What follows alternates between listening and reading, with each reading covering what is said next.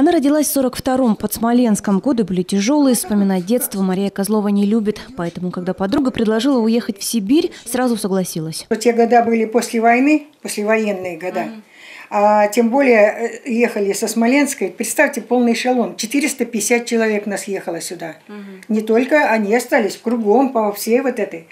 И, а как не манило? Куда деваться дети? Куда вот деваться было? Вот закончим школу и куда?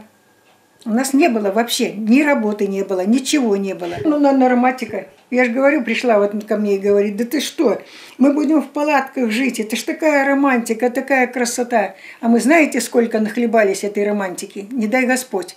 Мария Козлова вместе с подругой попали в Завьялово. Жили в небольшом домике, где были пара кровати, подушки, одеяло и печка. Условия не самые лучшие, но зато хорошо кормили. Подборщики сидели. Ну, как штурвальный был. Хороший был у нас очень э, комбайнер. Тема были молоденькие, он был все время говорит, девочки, я вас сильно прошу, только не усните. А работали же тогда, тогда до четырех, если хорошая погода, нам объявляют уже, ужин привезут и объявляют. Сегодня работаем, пока не придет роса. А бывает и росы не было. И вот было, спишь, вот так дремлешь, а на подборщике сидишь, это же вот, где мотовила работает, и вот он все время говорил, девочки, только не усните. По транспортеру утащит туда. Параллельно Мария Козлова выучилась на механизатора и после уже работала трактористом, машинистом. Я была очень рада и по сегодняшний день горжусь. Когда мы сдавали госэкзамены, госэкзамены сдавали в Тулета, Тулинский совхоз был.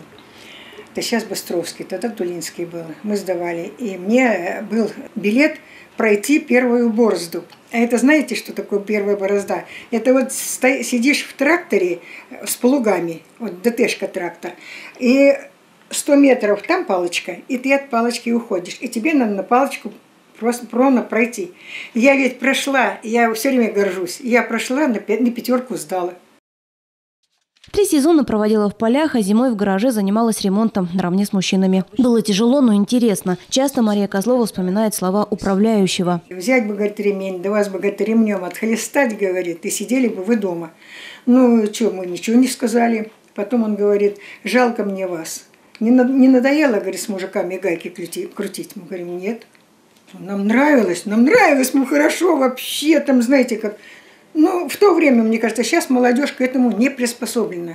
Мы были приспособлены, наверное. Может, может, что я в, таком, в такой стране, как сказать, в Смоленщине, все война прошла. В редкие минуты отдыха на Целине Мария Козлова научилась вязать и вышивать. Это даже стало дополнительным доходом в свое время. И по сей день пишет стихи. А еще ездили и на танцы в соседнее село. Молодость есть молодость.